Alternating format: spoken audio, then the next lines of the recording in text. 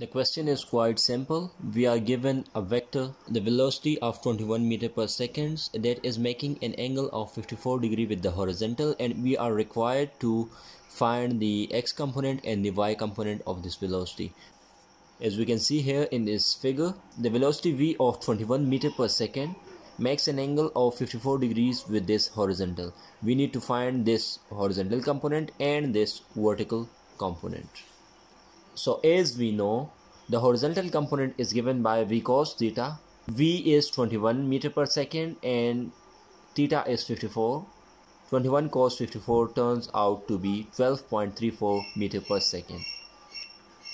Likewise, Vy is equal to V sine theta. V is 21 and theta again is 54 21 sine 54 turns out to be 16.98 which is approximately equal to 17 meter per seconds.